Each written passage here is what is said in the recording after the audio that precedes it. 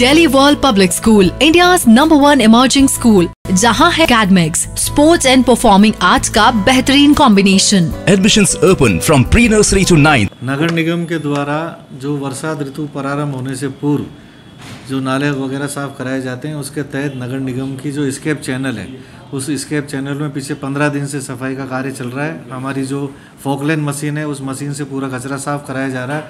अभी वर्तमान में ये तोपदड़ा फाटक से जो है रेलवे स्टेशन की, उसके आसपास वर्क और तोपदड़ा के साइड में वर्क कर रही है स्केप चैनल में। यहाँ तक की सफ़ाई हो चुकी है, जो हमने शुरू किया था महादेव के ढाबे से।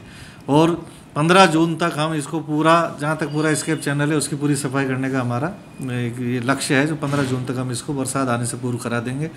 इसके अलावा भी लगभग सत्तर नाले ऐसे हैं जो कि मैनुअल साफ़ नहीं होते हैं, जेसीबी से साफ़ होते हैं बड़े नाले हैं। इन सत्तर नालों में से करीब करीब हमने पच्चीस नालों की सफ़ाई तो अभी हमारी हो चुकी है। ये भी करीब पिछले पंद्रह तारीख से हमने चालू कर रखा है इस कार्य को।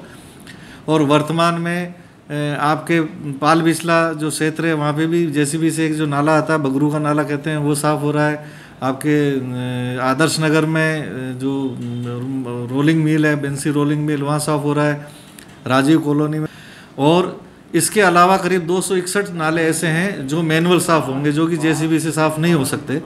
इनके लिए हमारी फाइनल स्टेज पे अभी फ़ाइल चल रही है और आज कल में हम वहाँ पे भी लेबर से जो हमारा मैनुअल रूप से साफ़ होंगे और हमारे पूरे प्रयास रहेंगे कि 15 जून से पहले पहले, जबकि मानसून सक्रिय हो, जबकि राजमेर में लगभग चौबीस से 25 जून तक होता है, हमारा लक्ष्य, हमारा तय है कि पंद्रह जून तक हम इन सब नालों की सफ़ाई करा देंगे।